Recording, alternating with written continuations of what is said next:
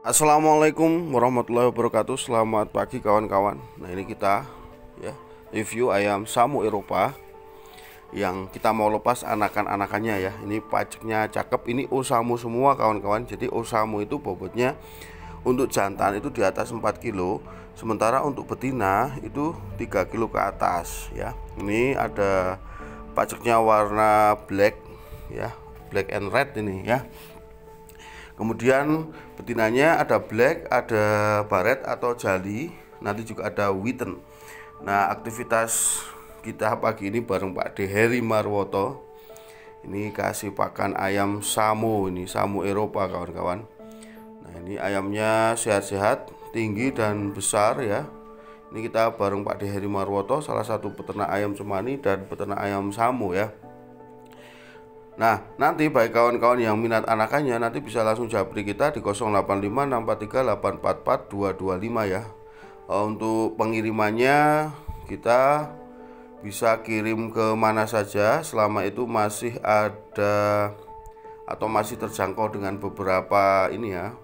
Misalnya luar pulau, luar Jawa bisa dengan kargo pesawat, kemudian yang seputar Jawa bisa dengan bis dengan kereta. Untuk ongkos kirimnya untuk kereta bis seputar Jawa biasanya sekitar 100 ribuan. Sementara untuk ongkos kirim luar pulau itu rata-rata di atas 600 ribu ke atas kawan-kawan.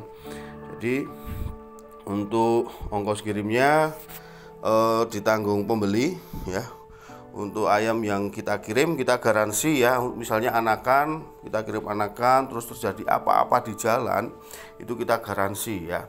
Misalnya KO atau apa sakit gitu kita garansi. Artinya kita ganti dengan ayam yang baru atau uang kita kembalikan. Jadi baik kawan-kawan tidak usah khawatir transaksi dengan kita ya. E, kita ada di desa Makukuhan kita bersama dengan kawan-kawan Makukuhan lainnya bersatu dalam solidaritas ternak kemudian juga terah Makukuhan Makukuhan Brotherhood dan beberapa peternak ayam samu ayam cemani lainnya mengkampanyekan ayo kawan-kawan kita beternak dari desa ya kita beternak dari desa. Karena dengan beternak dari desa itu insya Allah kita bisa mencukupi kebutuhan kita sehari-hari. Nah ini pacek osamonya ini big size kawan-kawan ya cakep. Kemudian nanti betinanya ada itu tadi witten black dan jali ya. Ini kakinya oke ini. Ini jumbo-jumbo ini Osamu ini ya.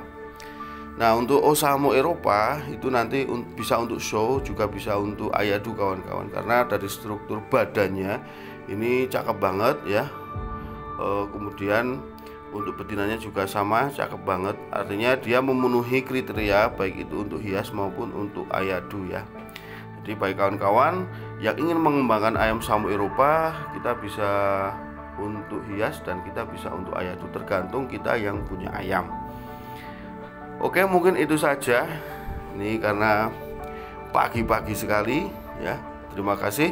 Assalamualaikum warahmatullahi wabarakatuh. Salam rakyat peternak. Ayo kita peternak dari desa untuk Indonesia. Assalamualaikum warahmatullahi wabarakatuh.